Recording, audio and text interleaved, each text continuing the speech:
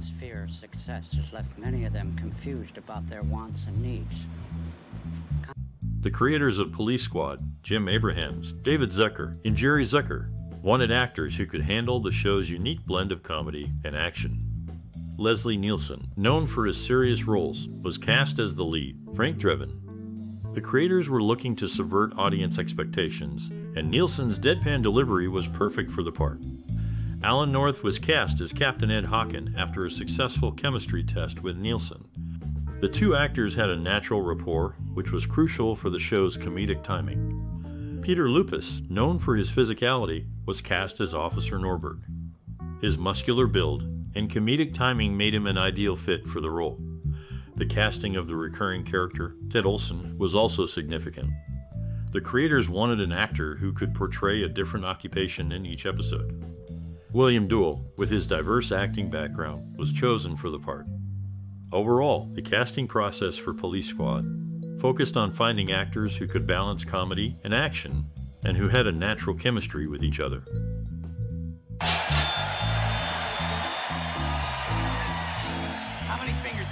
The 1982 TV series Police Squad was directed by Jim Abrahams, David Zucker, and Jerry Zucker, collectively known as Zaz. They brought a unique comedic vision to life through their innovative approach to parodying the police genre. The directors drew inspiration from classic TV shows like Dragnet and Hawaii Five-O while adding their signature humor style characterized by sight gags, absurd situations, and rapid fire jokes. The Zaz team's creative influences also included the work of silent film comedians like Buster Keaton and Charlie Chaplin, as well as the fast paced humor of Mel Brooks films. This is evident in the show's visual and comedic style, with exaggerated performances, intricate sight gags, and a focus on physical comedy. In bringing the story to life, the directors collaborated closely with the cast and crew, fostering a creative and supportive environment. They encouraged improvisation and experimentation, allowing the actors to fully embrace their characters and contribute to the humor. This collaborative process resulted in a dynamic and engaging on screen product, with the cast's performances perfectly complementing the show's offbeat humor and visual style. The director's approach to Police Squad was defined by their commitment to pushing the boundaries of comedy and their ability to find humor in the most unexpected places. Through their vision and collaboration with the cast and crew, they created a groundbreaking TV series that continues to resonate with audiences today. Of course, Lieutenant uh, Flebner. Police Squad is a classic TV series that first aired in 1982. It's a comedy show that parodies the police genre with hilarious results. You might have a cherished memory associated with this show or a particular scene that has stuck with you. Maybe you love the deadpan humor or the over the top action. Throughout this video, we'll be sharing some fun, shocking, and even sad facts about Police Squad that you might not know. So keep watching to learn more. Do you have a favorite moment from Police Squad that you'd like to share? We'd love to hear your stories and memories in the comments below. Whether you're a longtime fan or new to the show, there's something in this video for everyone. From the show's origins to its impact on popular culture, we'll be exploring it all. So, sit back, relax, and get ready to learn something new about this classic TV series. Police Squad.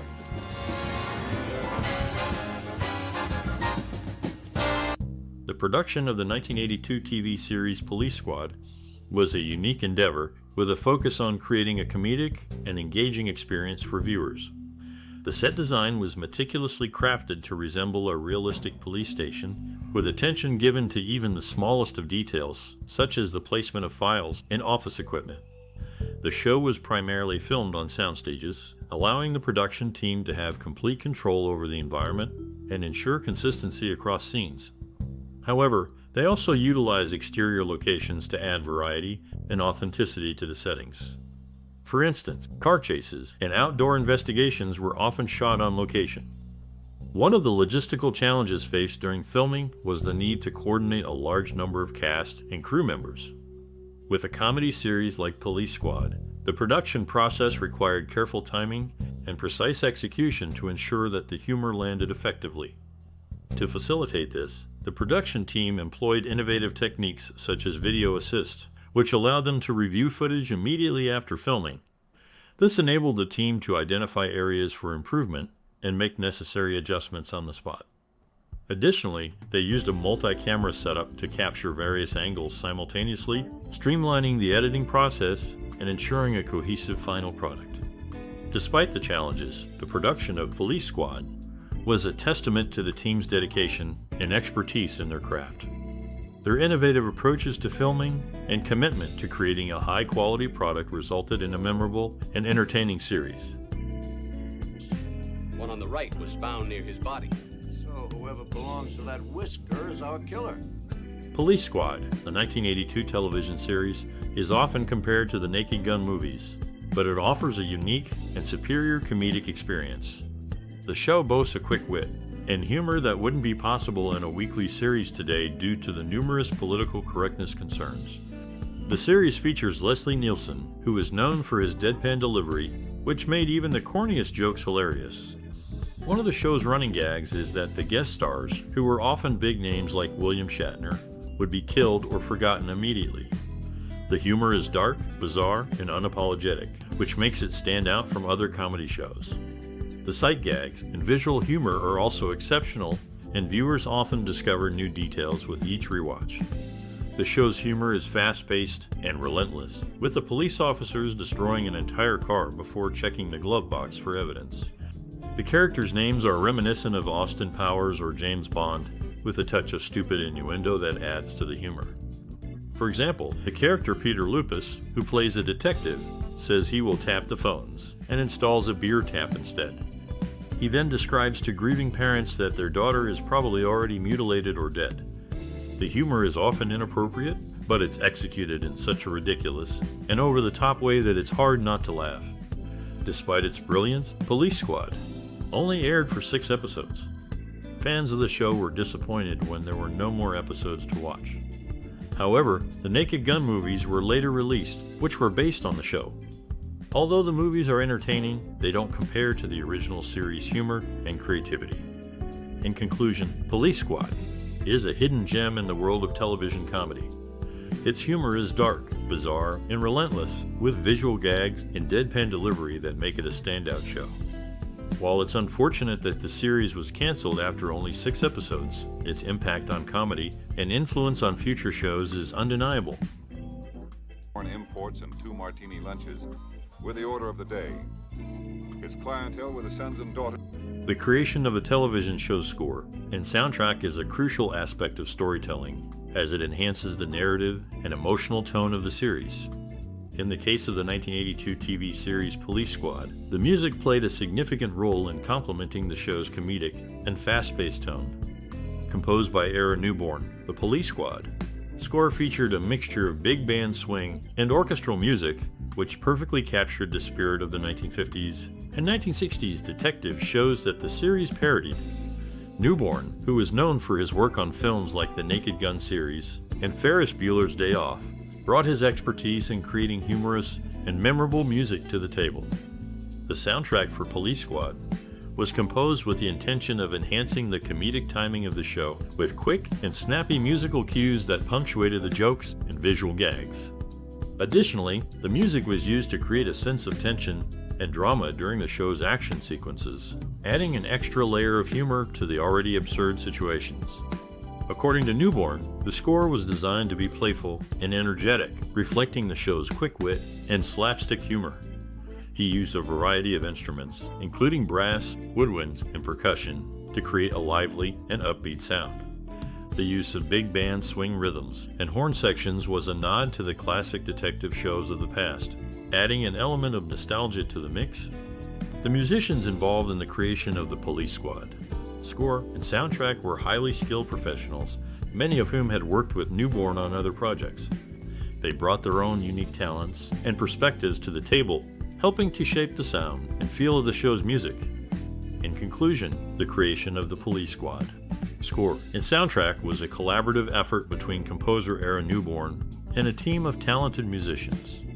By using a mixture of big band swing and orchestral music, they were able to complement the show's comedic and fast paced tone, enhancing the narrative and emotional impact of the series. Lieutenant. Mr. The feeling is mutual. I know this is trying, but we've got to ask you a few questions. by all means. Police Squad from 1982 only had six episodes produced, but it eventually gained cult viewing status. Its snitch, Johnny the Shoeshine Boy, met with real life figures like Dick Clark, Joyce Brothers, and Tommy Lasorda in the last three episodes. After the success of the Naked Gun films, Comedy Central, and CBS re aired the series in 1991, planning to include a cut scene with John Belushi. However, the footage was lost or destroyed and couldn't be found. Initially, it was difficult to sell the show due to the limited number of episodes, but foreign broadcasters started to show interest, especially after the Naked Gun film's success. In the UK, some ITV regional broadcasters aired the show in the late 1980s, usually around 11 p.m. Despite its initial struggles, Police Squad left a lasting impact and gained a dedicated fan base over time.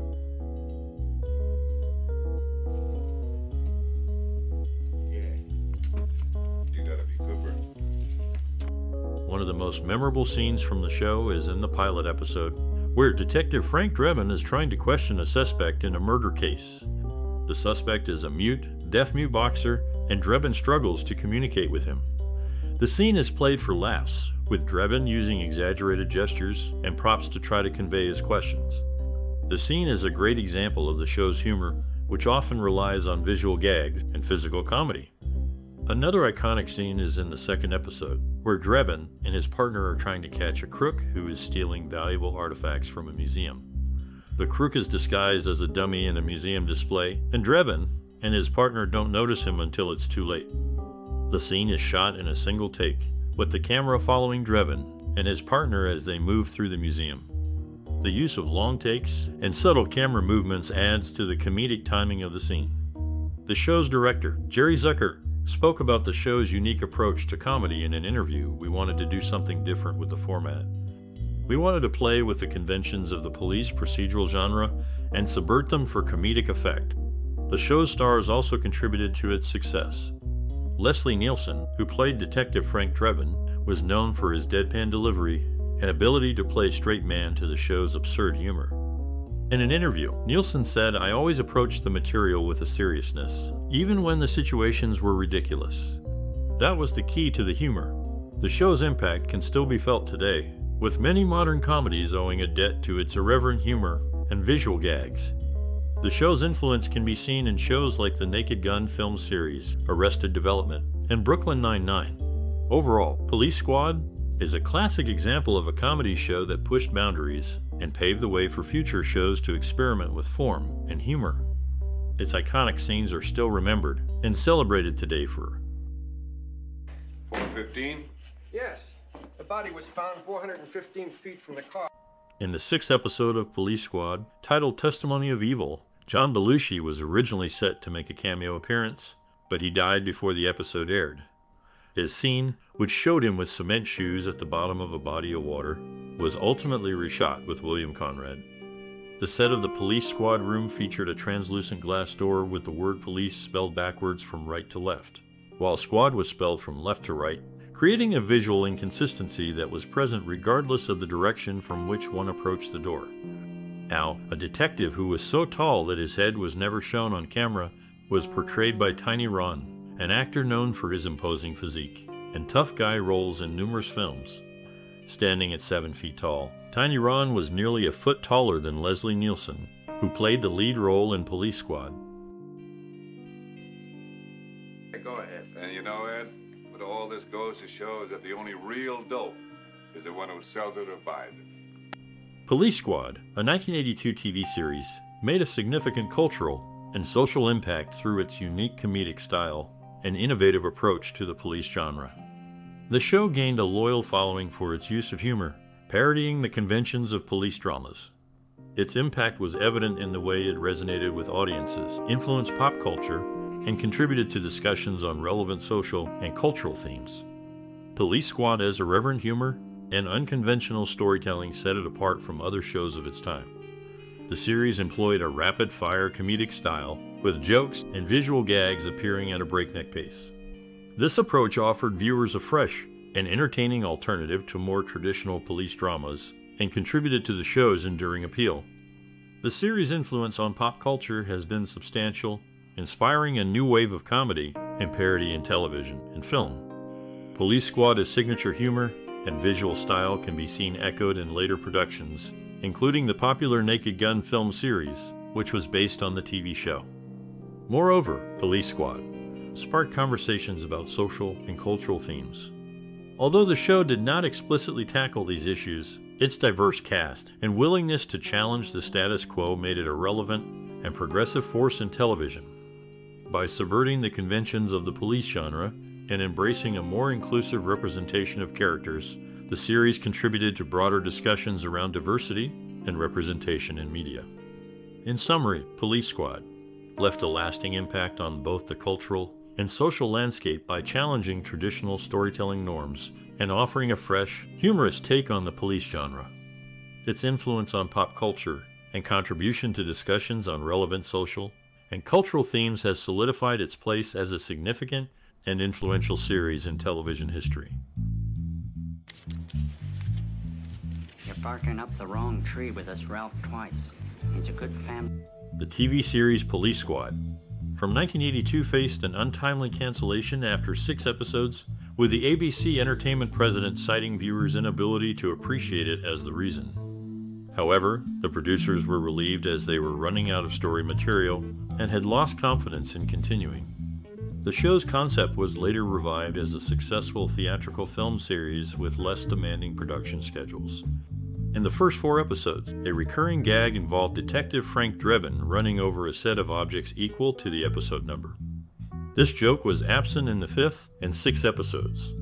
Each episode featured a special guest star who met an untimely end in the opening credits, including Lorne Greene and William Conrad being knifed and thrown out of cars, Florence Henderson being shot during a musical number, and William Shatner narrowly avoiding machine gun fire before drinking poison wine.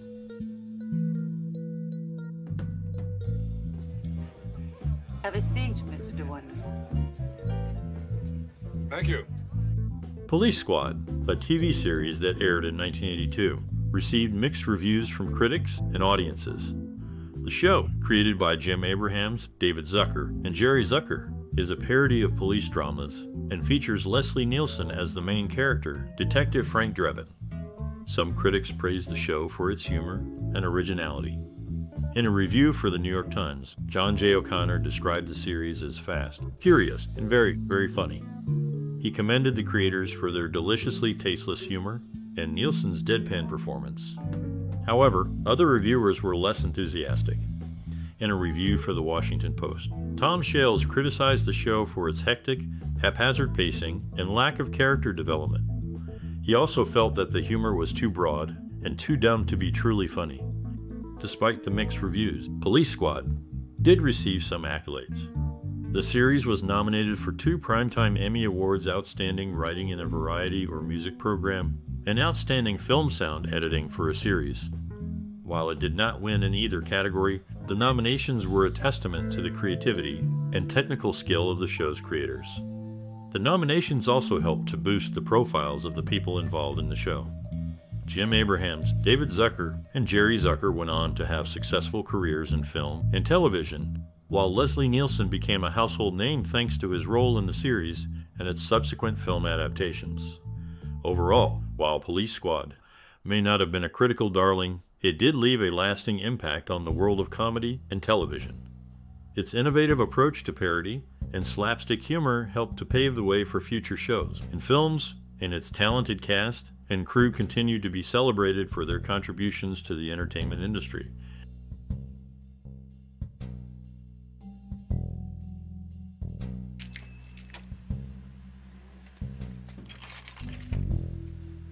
In the original VHS release of Police Squad, from 1982, certain songs were altered due to copyright issues. For instance, Happy Birthday was replaced with a different version, and Glowworm was dubbed in the final episode's DVD version.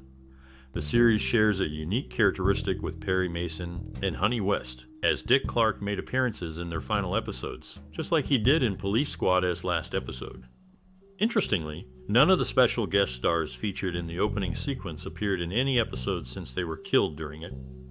However, Robert Goulet, who was a special guest star, did appear in The Naked Gun to the Smell of Fear, one of the movies derived from the series.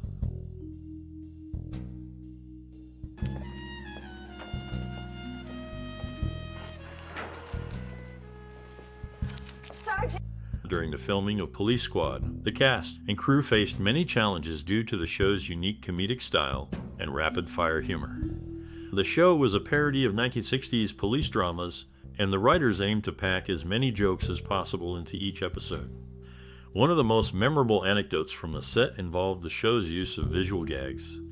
In one episode, the writers wanted to include a joke where a suspect's false beard falls off during an interrogation. To achieve this effect, the prop department created several different beards made of various materials, such as rubber and yak hair. However, none of them looked convincing on camera. In the end, they decided to use a real beard, which they glued to the actor's face. Unfortunately, the glue was too strong, and when it came time to remove the beard, the actor was left with a painful burn on his face. Despite the mishap, the scene made it into the final cut, and the joke received a big laugh from the studio audience. Another anecdote from the set involved the show star. Leslie Nielsenator Nielsen was known for his deadpan delivery and comedic timing, but he had never appeared in a comedy series before Police Squad. In fact, before being cast in the show, he had built a reputation as a serious dramatic actor. Despite his lack of comedic experience, Nielsen quickly proved himself to be a natural. He often improvised lines and physical comedy bits, much to the delight of the cast and crew. In one scene, Nielsen's character is seen driving a car while eating a sandwich. Nielsen insisted on actually holding the sandwich and taking bites during each take, even though it made the scene more difficult to film. The end result was a hilarious sequence that became one of the show's most memorable moments. Overall, the making of Police Squad was marked by creativity, innovation, and a willingness to take risks.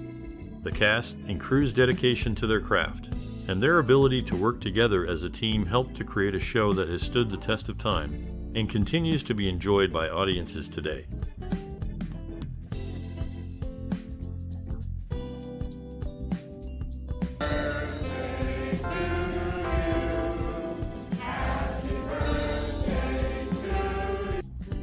1982 TV series Police Squad, only three cast members appeared in all six episodes, and the subsequent Naked Gun film franchise Leslie Nielsen, Ed Williams, and Tiny Ron.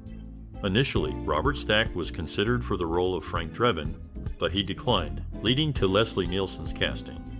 Nielsen's father, Ingvar Nielsen, had a career as a Royal Canadian Mounted Police officer in the Northwest Territory and Saskatchewan, which may have influenced his son's portrayal of a police officer in the series. Hey, Kelly. Sure are a lot of photographers here tonight. Police Squad, a 1982 TV series, holds a significant place in film history due to its unique blend of comedy and police procedural genres.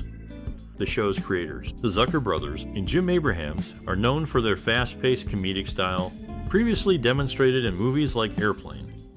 Police Squad's most notable innovation was its use of sight gags, wordplay, and deadpan humor, which were uncommon in police dramas at the time. The series featured actors like Leslie Nielsen, who later became famous for his comedic roles. Despite its short run of only six episodes, Police Squad left a lasting impact on future filmmaking. The influence of Police Squad can be seen in various comedy and action productions, such as the Naked Gun film series, which was based on the TV show. The show's rapid fire humor and subversion of traditional police drama tropes have inspired numerous parodies and homages in subsequent television shows and movies. Moreover, Police Squad demonstrated the potential of blending comedy with other genres, paving the way for similar genre bending productions. The series has also influenced comedy writers and filmmakers who appreciate its groundbreaking humor and innovative storytelling techniques. In summary, Police Squad has made a lasting contribution to film history through its unique approach to comedy and police procedurals. Its influence on future filmmaking is evident in the many parodies and homages it has inspired, as well as in the genre blending productions it helped pioneer.